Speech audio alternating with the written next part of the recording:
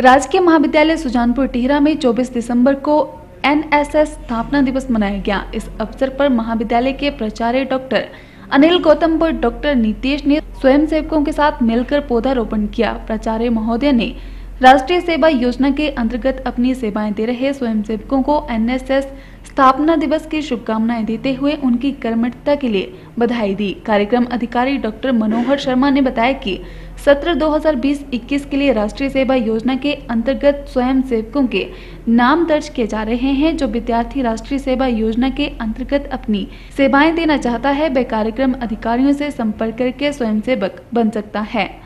आपको बताते चले कि वर्तमान समय में महाविद्यालय में एनएसएस की दो इकाइयों के अंतर्गत 200 स्वयंसेवक अपनी सेवाएँ दे सकते हैं। इस अवसर पर अजय, आदित्यांशु, सचिन, सौरभ, ईशांत, ओशिन, नीलम, अप्सरा इत्यादि स्वयंसेवक उपस्थित रहे।